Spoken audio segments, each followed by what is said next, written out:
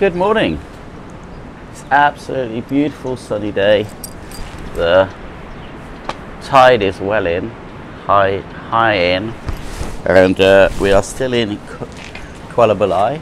Yesterday I went to Tasik Merimbun Heritage Park, and um, I've got to say I was a little bit disappointed. I I kind of looked online, and the one there's one nearer to us, I think, and the reviews were, you know, park great, but there's lots of the paths aren't very safe and it's not been maintained and blah blah blah blah blah.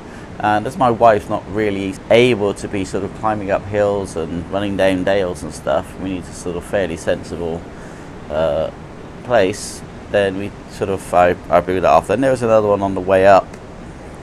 Can't remember the name of that either, which we passed actually to get through to Tasik Merimbun and again, I didn't go in that because the reviews weren't as good as I thought they could have been. So we went to the one with the best reviews. And when we got there, we were quite filled with hope. But however, they only had two trails, one of 650 meters and one of 1,050 meters. They had a small butterfly house with barely bigger than this shelter, and uh, hardly any butterflies in. And they had a sort of museum that just hasn't been looked after or loved in any way, shape or form. They, it's just not maintained. There's a big lake with a, a walkway over the lake, but the walkway's broken and nobody's bothered to repair it. You know, these are things that, like, if you look up tourist spots in Brunei, are you know right high up the list. These are places that you're supposed to get the tourists to go so they can see what a beautiful country this is, and it is a beautiful country. But by this simple fact of not doing ongoing maintenance, I wish one of these countries would just employ me as an ongoing maintenance manager, and it'd be my job to have a small team of people to uphold maintenance on like important tourist attractions, clean toilets, broken down bridges and fences and gates and information and oh so many things. It's just like ongoing. It doesn't take a lot though. I mean, if you basically, if a bridge, if you have a big bridge across a river and one plank of wood breaks or rots or whatever, you replace that plank of wood. What you don't do is you don't leave it until there's two planks of wood and then three planks of wood and then a section collapses because everything has not been looked after. If you do, if you repair things as you go along, you stop these problems because what happens, and I've seen this in Malaysia, and it looked like I, was seeing it at that lake, is eventually the lack of maintenance means a part of the bridge falls down, and instead of repairing it, it's abandoned. It's kind of like it's almost like a self-fulfilling prophecy. Oh well, nobody uses the bridge. Well, that's because the bridge has fallen down. Yeah, but nobody uses it. I mean, come on, Brunei, Brunei Tourist Authority, contact me all you got to do is very simple. Pay me a, a, decent wage, not a crazy one. Let my family come here with me, and I will be in charge of maintaining your tourist areas. Okay? The areas that you want to bring people to. I mean, the problem is, I guess, I don't know if Brunei chases the tourist dollar. I don't know if that's actually an even thing. Um, I'm guessing it probably doesn't. But if it did, it's got some beautiful places. The only real problem I see with Brunei is the same as there is with Malaysia. The stifling heat.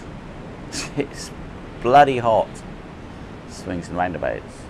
But also they don't kind of have the the foresight to put a, you know, what you do is you very simple.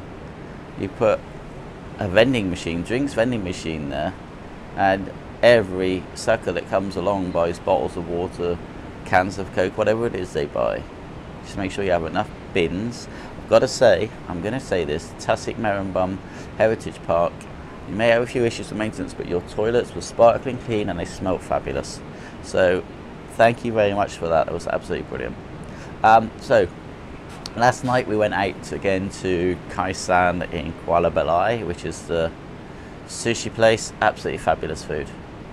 Really fabulous. But my son's kind of, I'm sure he doesn't eat between visits, so last time we saw him was nearly three months ago, I don't think he'd eaten since then. So what he does is he orders everything on the menu and eats it right in front of us. Anyway, it's life. It's a hard life being a young man. We'll probably drive up to Seri uh, Begawan and uh, look around a bit of the city, show the girls the city. They haven't been up there yet. And then we intend going to, uh, there's a, a, sort of, uh, I say a theme park, a sort of um, entertainment park on the way to the city. And that's open, I think, from Thursday, which is today. So we'll probably go and call in there. But if not, we'll do that tomorrow, providing Tilly's okay. There's no point, we're not, um, you know, we're in the very, I say lucky, we're not. We're in a position where we have to go away every few months. So it's not like this is our only holiday of the year and it will be spoiled if Tilly's ill through it all. That's not the point. The, the fact is that uh, this is something we have to do. We do try to make the best of these trips. But if someone's ill, you know, we're just, to chill, just relax. It's a beautiful place to relaxing anyway. Nice swimming pool, nice beach. Let's show you some water.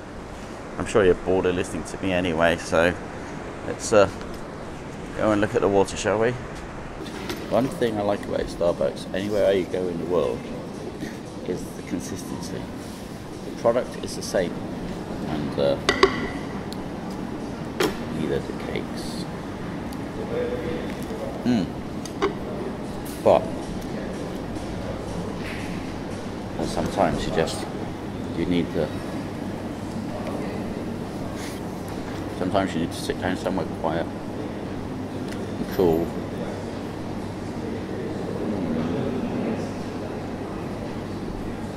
And enjoy.